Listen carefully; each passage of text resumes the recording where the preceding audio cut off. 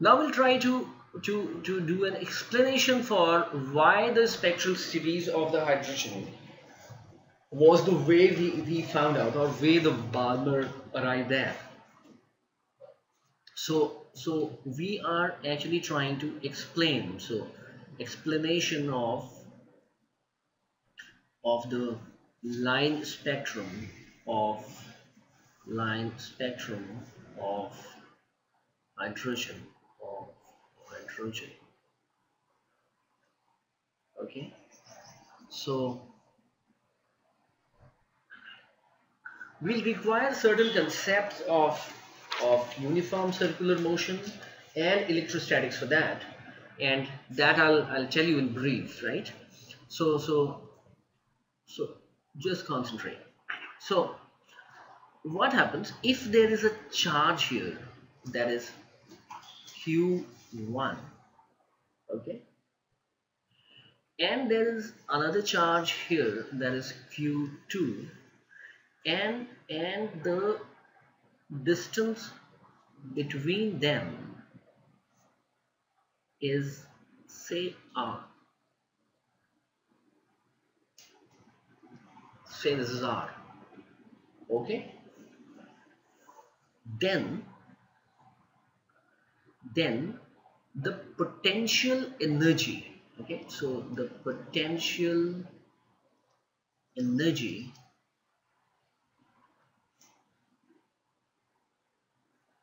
of this system of charge is k into q1 q2 upon r okay? Where k is a constant equal to 9 into 10 to the power 9 this is the first concept that you'll you'll need. Okay? Fine. Now the second thing that you'll require is if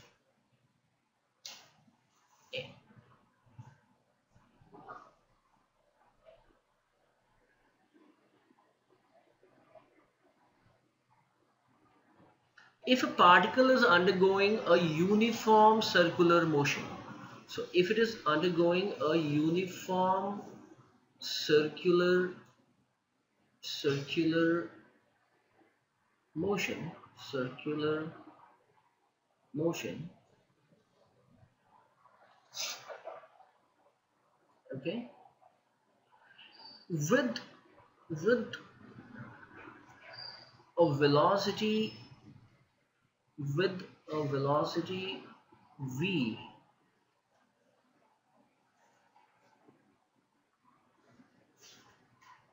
Okay? And what will be the direction of velocity v? It will be tangential. It will be tangential to the radius right? So so so this will be 90 degree. If this is velocity v okay? Then this happens and if this velocity is constant then this happens because because the the the particle is actually being accelerated towards the center. Okay? So and this acceleration is called centripetal acceleration.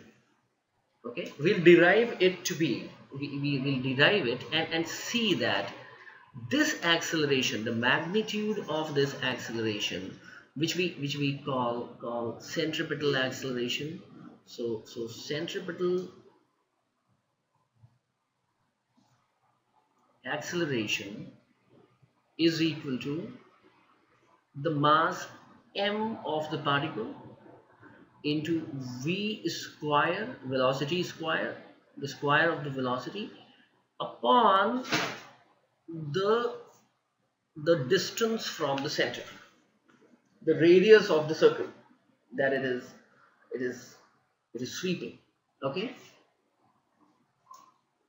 Get that?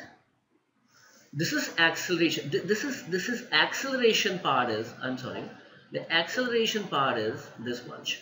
And the centripetal corresponding centripetal force is centri centripetal force force is mass multiplied by this acceleration by Newton's law and that becomes mv square upon r.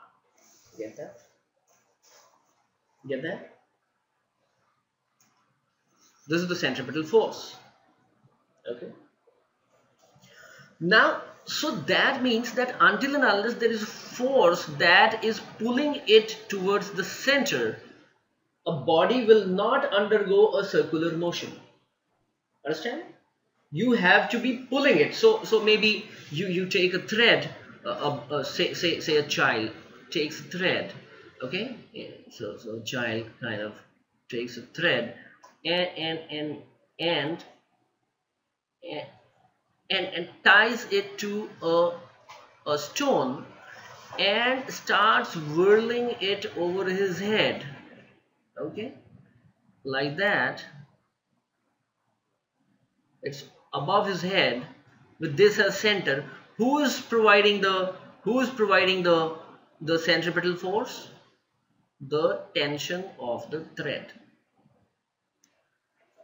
Right? With with with the with the earth with the sun at the center the earth also undergoes undergoes a similar kind of motion though not circular but but let's assume it to be circular for for the moment okay? It is actually an elliptical movement okay? But, but let me kind of just just simplify it. So if it goes something undergoes something like that then at every point who is providing this centripetal force? The force of. Gravitation. So force of gravitation is equal to the force of gravitation should be equal to mv square upon upon r. Okay? Fine. Now if you understand these two concepts we are in a position to to investigate the line spectrum not only in a hydrogen atom.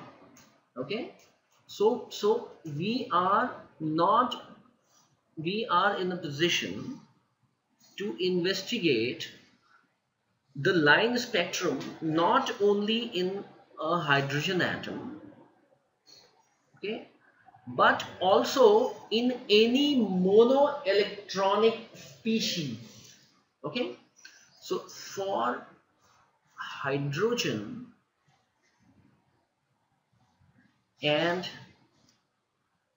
any monoelectronic species. Okay? Fine. And what do you mean by monoelectronic species? So so for hydrogen hydrogen itself is monoelectronic right? How many electrons? One. For helium how many electrons do we have? Actually two correct? So how do you make it monoelectronic you make it lose one electron. So it becomes what? It becomes he plus. Is it not? So so this boils down to this reduces to to one electron. A- and how about lithium? How many electrons does it have? Three.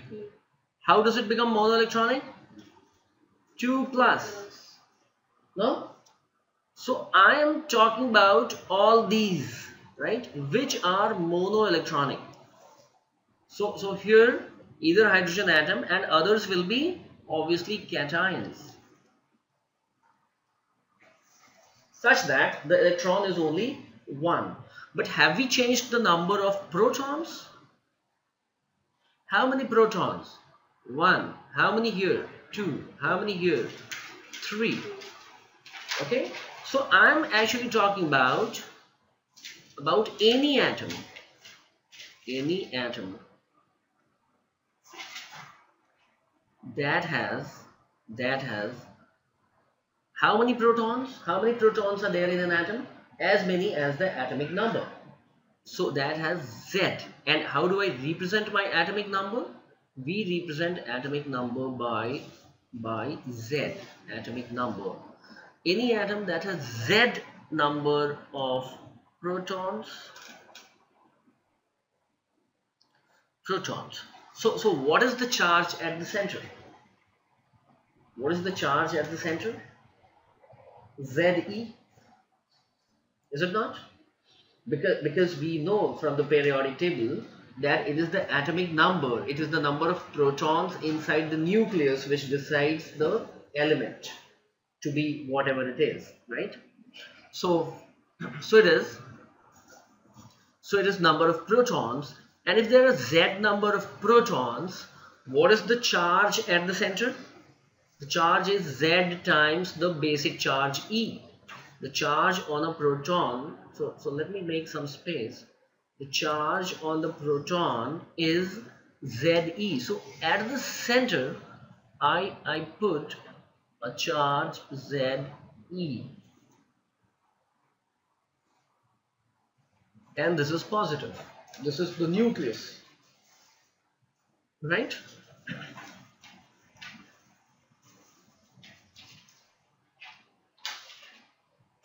and I know that around the atom there are so many there's so many orbits right as Rutherford told us there are so many orbits. Okay? I concentrate I concentrate on on the orbit which is the nth orbit. This is the nth orbit. Okay? So I designate the distance as Rn okay? The distance of the nth orbit from the center is Rn so the distance of the first orbit is R1 then R2 right? Fine. And the corresponding velocity of this the corresponding velocity of this I designate as as Vn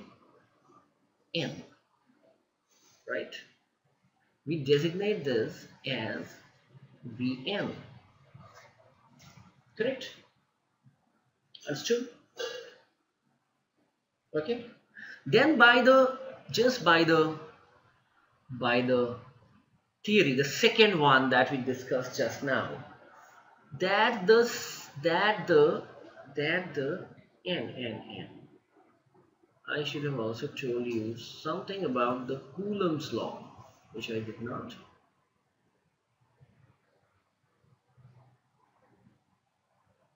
the third thing that you'll require in all this is that so so so let me write the third one here right?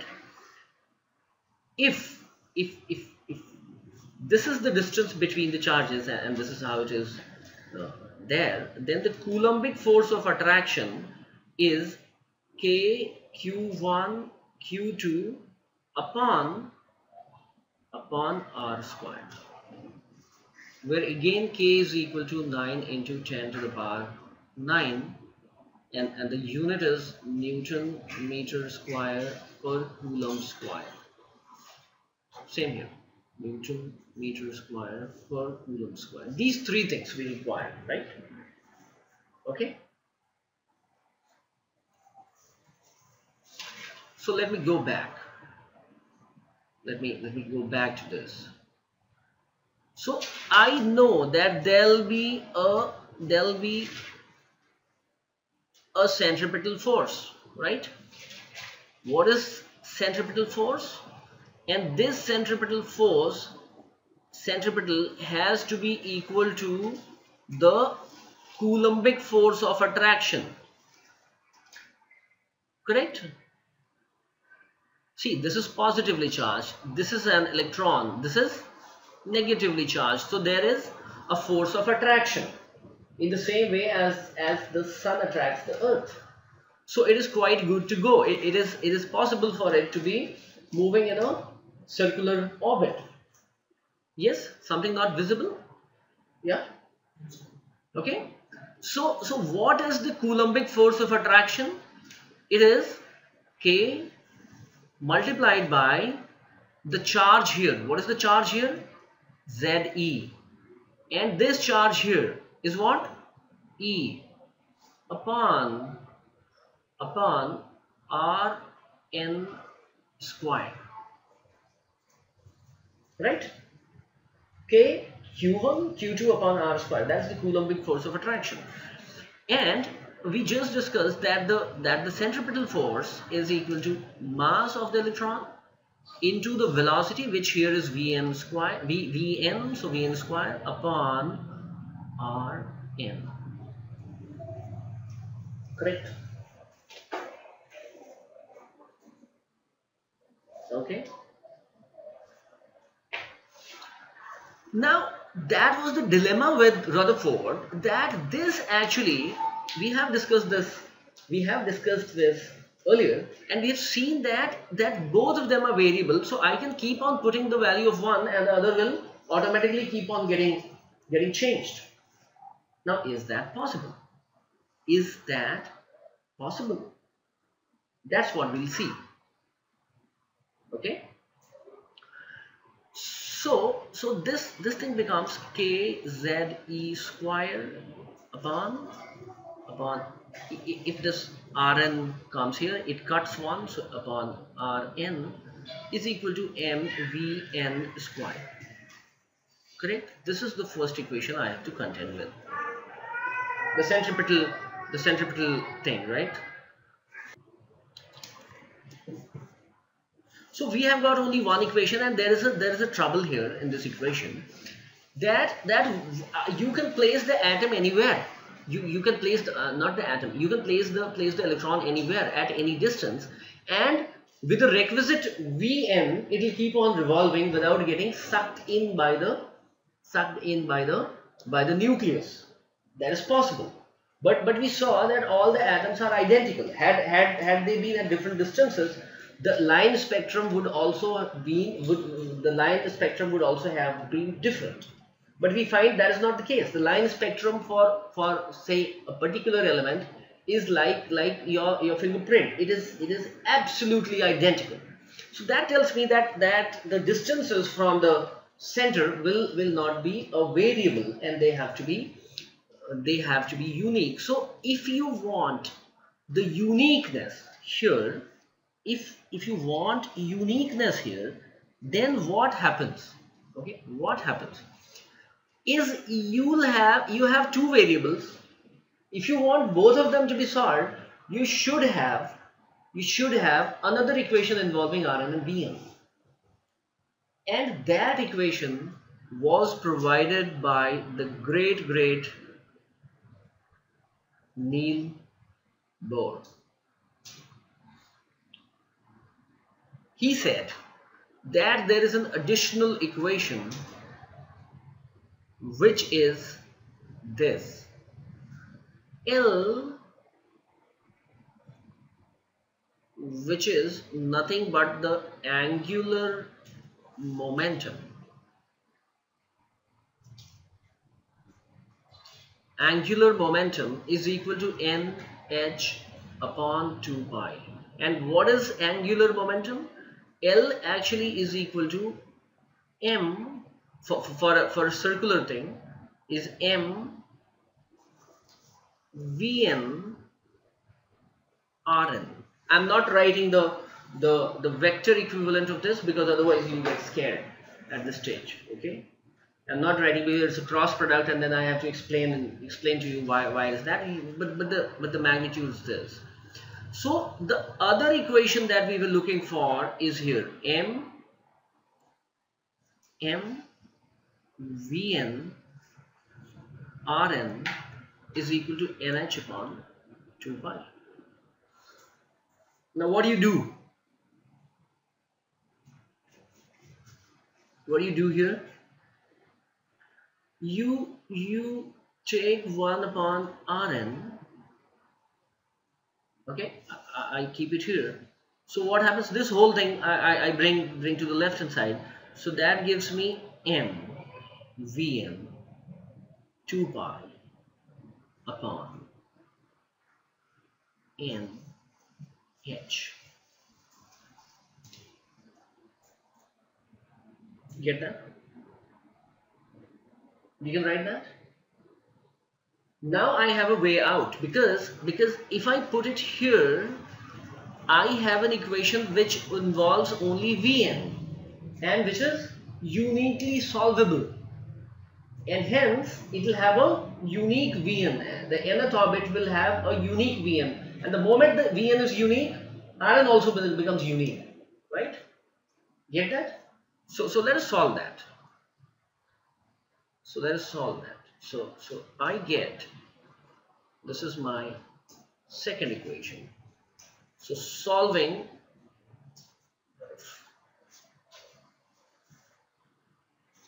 we get this from this and, and putting the value of Rn, the value of Rn in 1 we get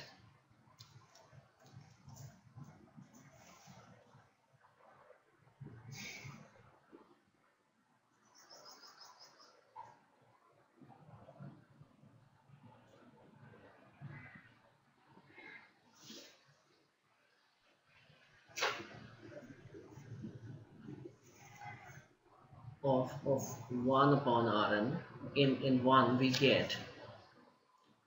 We get k z e square and, and, I should tell you that k is nothing but 1 upon 4 pi epsilon naught where epsilon naught is 8.854 into 10 to the power minus 12 okay so this is nothing but kze square. Kz e square. And, you just put in the value of this. 1 upon rn. Multiplied by 1 upon rn which is m vn 2 pi upon upon nh that is equal to m vn square and I'm in a position to cut this right? No space here. Let me move slightly to the right. Okay so so so what is that? This vn gets cut and this m comes down right? So so m actually I can cancel. And this vn gets cut. So I get vn is equal to vn is equal to instead of k I write 1 by 4 pi epsilon naught okay 4 pi epsilon naught 4 pi epsilon naught.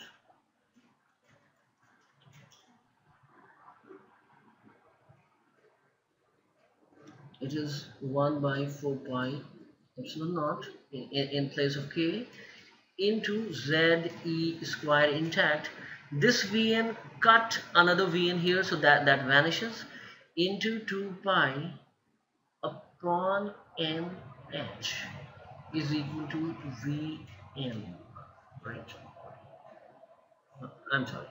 I've already written vn to the left side so so so no no use of this right? So so so vn is equal to 1 upon n z square. Now, now this also gets cut right?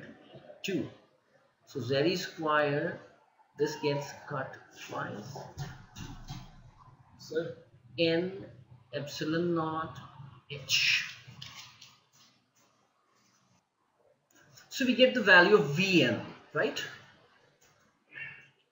And and I have an n here.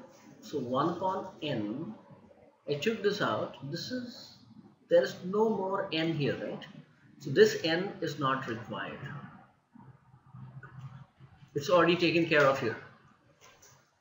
So in a sense we we mean to say that my vn falls off as 1 upon n. Okay? And there are many numericals which will test you for this.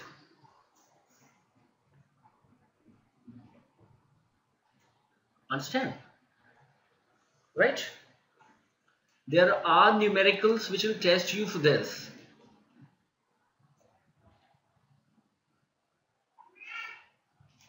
okay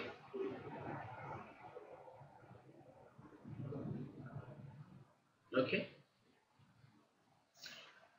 So Vn is inversely proportional to n. So so if if for for n equal to 1 it is V naught, eh, V1. For n equal to 2 it will become half of that. N equal to 3 it will become one third of that. Okay. So so it means in a sense that that that that the the electrons which are which are the closest are the fastest, right? And that in the 10th orbit is moving at one tenth the speed, right? is moving at one-tenth the speed. Fine, so, so this is important. Now we'll try to find out what is Rn. Now Rn is given in terms of, of Vn. So, so let us do that. Rn is equal to n h upon mvn into 2 pi which is equal to let's try to put the, the value of 1 upon vn so so so it is it is n h upon 2 pi m and 1 upon vn so let me write the denominator here as the numerator here so it is 2 n epsilon naught h upon z e square. Another thing to be to be noted here was vn is directly proportional to z. So as z goes up your vn goes up. So okay so so in a helium in a helium atom helium ion He plus the velocity of the first orbit will be will be double the double the that you know hydrogen atom right? Why? Because all these otherwise z okay so z is there e is a constant epsilon naught is a universal constant h is a universal constant. The only two things that are varying are z and n right? Correct? So so that is equal to this is equal to to again what? It is equal to n square upon z. What is the what is this m? This this is the mass of the electron right? So so so this is me actually right so so it is m square upon z into into 2h square epsilon naught. This h and this h multiplies right? n square already got multiplied. So 2 epsilon naught h square upon upon there's a 4 pi square here and that will get cut. So it will become 2 pi square and I can I can erase this 2 right? I can erase this 2 so it is on 2 pi square. There's m square right? m square. And no not m square. There is only one m. I'm sorry. I, I, I perhaps multiplied the m of this okay? So we have 2 pi and and there is a pi only. Again I multiplied this. So there's only a pi and this 2 is also gone right? Are we okay now? So this this this 2 actually cancels this 2 and and and the pi remains and m remains. Z is already taken there and an e square is also there. So let me write e square here correct? So what happens? My rn is directly proportional to n square.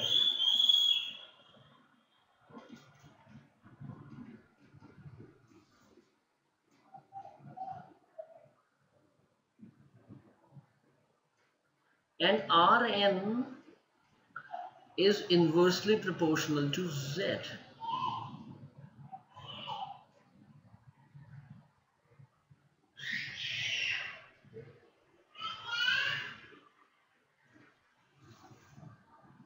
Get that?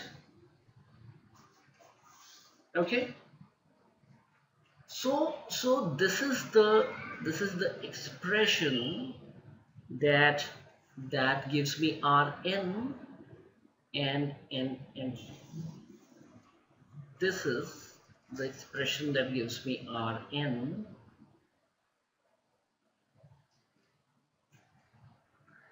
and and this expression and and this expression gives me Vn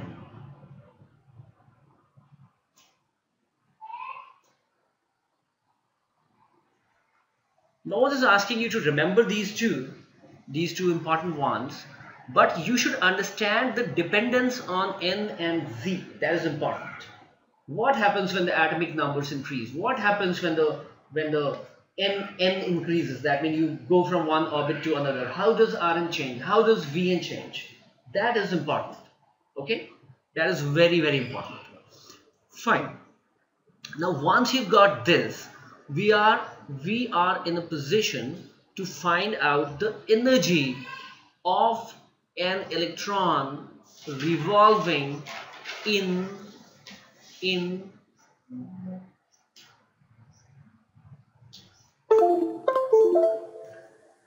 of an electron revolving in the nth orbit. Understand? So so what is the total what is the what is the total energy in an orbit? So so so let there be let there be a let there be a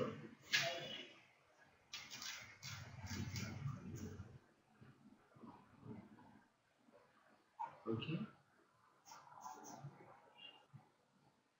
so let there be a be an atom here something like that okay? And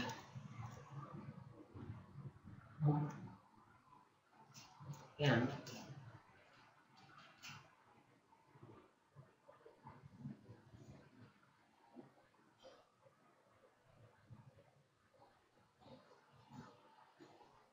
okay so let there be an atom here and this is my orbit. I'm talking about the nth orbit.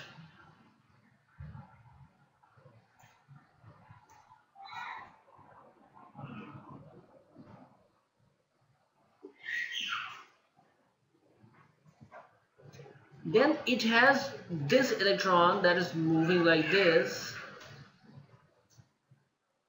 like this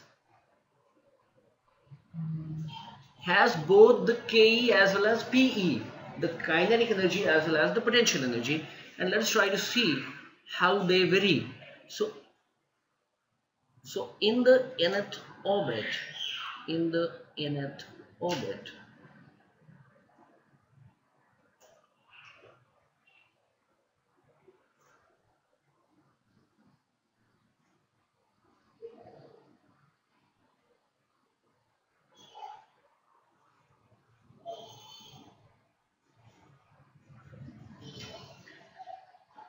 the ke okay?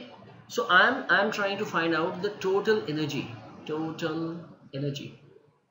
The total the total